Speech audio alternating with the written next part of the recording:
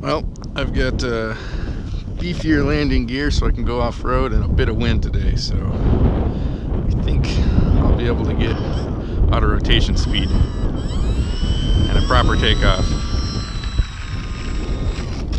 Or not.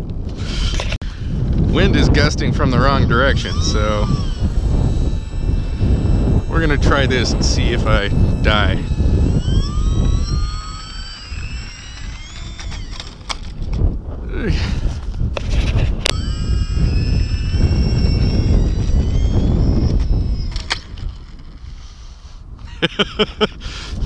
well, the blades are tough. I think I'm gonna change location.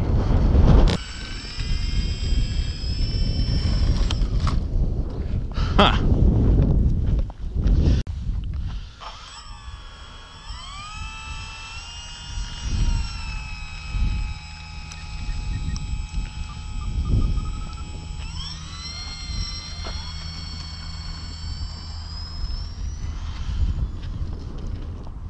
I